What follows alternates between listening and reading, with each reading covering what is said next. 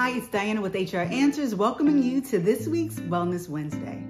Today, we're looking at four tips for maintaining good dental hygiene. Tip number one brush regularly. Brush your teeth at least twice a day, preferably in the morning and in the evening using a fluoride toothpaste. Be gentle to avoid damaging your gums and enamel. Number two, floss daily. Flossing helps to remove food particles and plaque from between your teeth and along the gum line. Make it a daily habit to keep your teeth and gums healthy.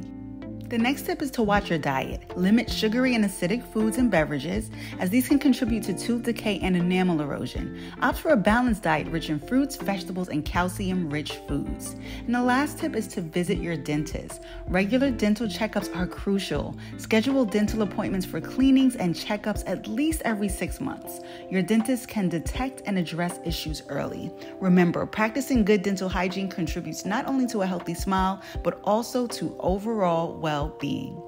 Thanks so much for tuning in today. We'll catch you on next week's Wellness Wednesday. Until then, take good care and bye for now.